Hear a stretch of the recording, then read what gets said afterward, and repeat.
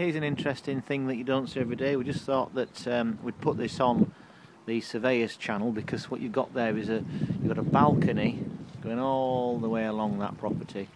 And the interesting thing about it is if we just go around to the side here, you can see that the uh, that the rail and the edge of the balcony is made from actually an old railway track, an, an old railway line, a piece of railway line.